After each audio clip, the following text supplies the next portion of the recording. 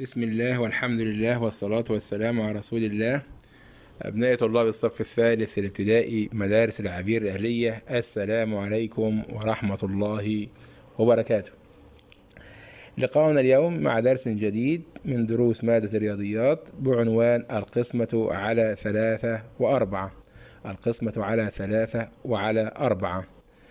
استكمالا لدروس القسمة فكرة هذا الدرس أستعمل النماذج والحقائق المترابطة والطرح المتكرر لأجد ناتج القسمة على ثلاثة وعلى أربعة. أستعمل النماذج وحقائق الضرب المترابطة والطرح المتكرر لأجد ناتج القسمة على ثلاث وعلى أربعة. كما سبق أن درسنا فهناك طرائق عديدة لإيجاد ناتج القسمة منها استعمال النماذج حقائق الضرب المترابطة والطرح المتكرر. الطرح المتكرر سبق أن شرحناه في درس علاقة القسمة بالطرح. وحقائق الضرب المترابطة سبق أن شرحنا أيضا في درس علاقة القسمة بالضرب واستعمال النماذج سبق أن شرحناه في مفهوم القسمة وفي معنى القسمة. والآن مع أول مثال في درس اليوم أستعد. مع محمد وعلي وحسن أربع وعشرون لعبة. إذا كان كل منهم معه مثل مثل ما مع الآخر فكم لعبة مع كل واحد منهم؟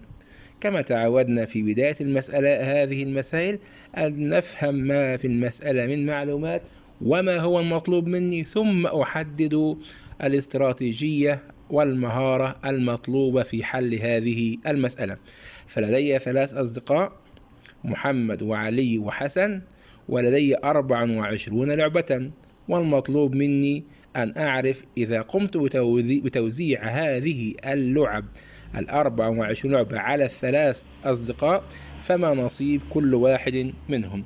في هذا النشاط السابق سوف أستعمل قطع العد بدلا من اللعب لعمل شبكات عبارة عن صفوف وأعمدة وأمثل مسألة القسمة وأستعملها في عمل مجموعات متساوية لأجد ناتج القسمة.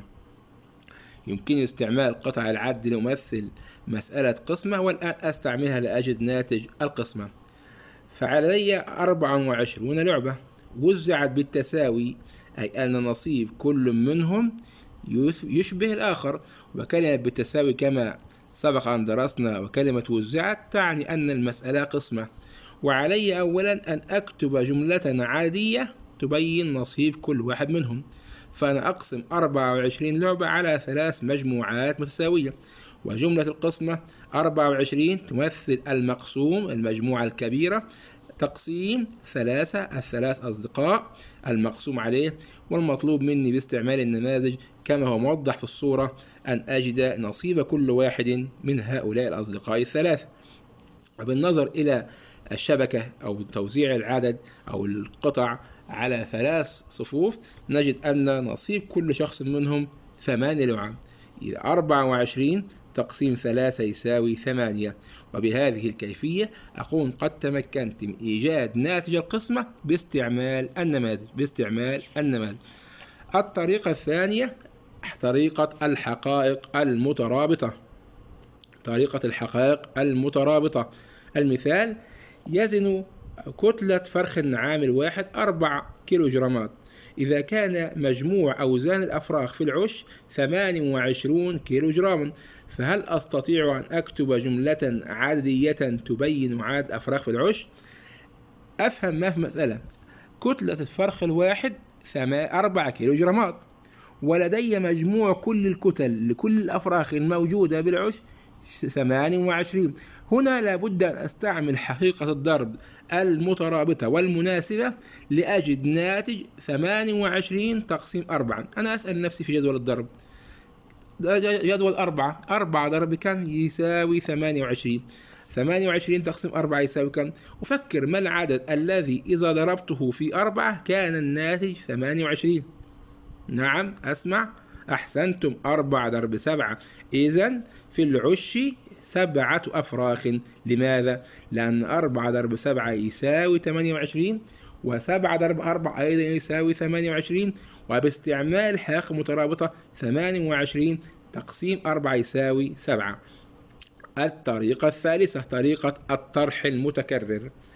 وكما تعلمنا جميعا في الطرح المتكرر أنني أبدأ أطرح العدد الكلي المجموعة الكلية التي لدي أطرح منها بالتساوي كل خطوة عدد الأشخاص الموجودة عندي في المسألة.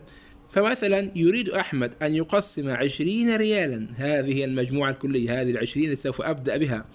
بالتساوي على أربع أشخاص وهذا المقسوم أو الرقم الذي سوف أقوم. كل خطوة بطرح عشرين ناقص أربعة كل خطوة أربعة.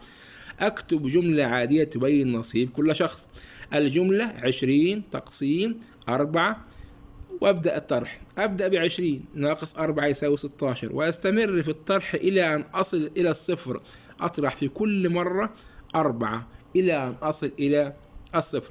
ثم أعد كم مرة قمت بالطرح؟ لقد قمت بطرح الأربعة خمس مرات. إذا فالخمس هي ناتج القسمة. لذلك عشرين تقسيم أربعة يساوي خمسة أو عشرين تقسيم أربعة يساوي خمسة بالطريقة الأفقية. أي أن نصيب كل شخص يساوي خمس ريالات. أتأكد من حلي. عندما أبدأ العد عشرين ثم أتراجع أربعة أتراجع أربعة إلى أصل الصفر. تراني قد تراجعت خمس مرات حتى وصلت للصفر. وبهذه الكيفية أكون قد توصلت باستعمال الطرح المتكرر إلى إيجاد الناتج. وبخلاصة القول لدي قاعدة. طرق القسمة في هذه الصورة أربع طرق. النماذج والشبكات كما ظهرنا في الصفوف والأعمدة في المثال الأول. الطرح المتكرر كما هو في المثال الأخير والحقائق المترابطة وأيضا المجموعات المتساوية. هذه الطرائق القسمة التي أسلكها دائما وأتبعها أثناء حل مسائل القسمة. وفي النهاية أسأل الله عز وجل للجميع التوفيق والنجاح الباهر. إنه نعم المولى ونعم النصير. على وعد بلقاء آخر في دروس جديدة إن شاء الله. والسلام عليكم ورحمة الله وبركاته.